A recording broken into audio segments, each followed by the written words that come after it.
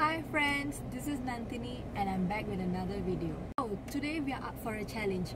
We'll have to find an ugly location and take a picture in it to make it look more Instagrammable without any props or any aesthetics.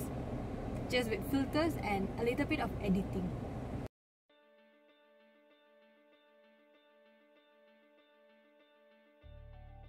Okay, so let's go find that ugly location now.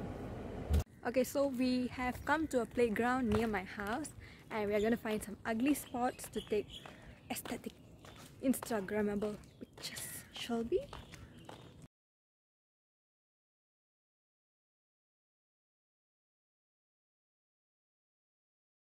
Okay, so now we have found the second location, which is this.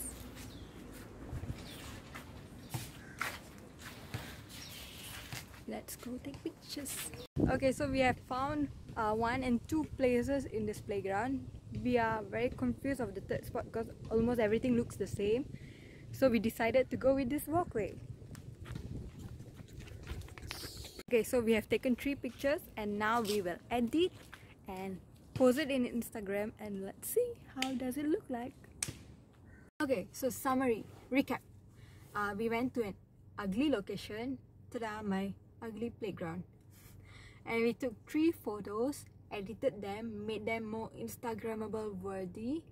So I'll post up the video, uh, the pictures here now, the edited ones, and let me know in the comments how do you feel about it. And do subscribe to my channel for more videos.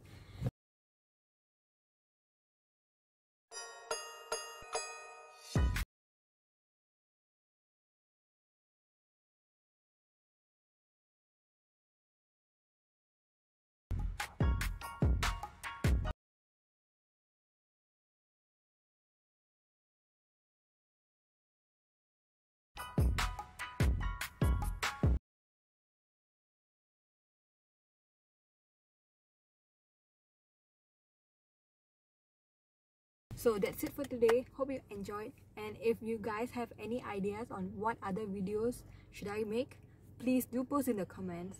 So that's it for today. Bye bye.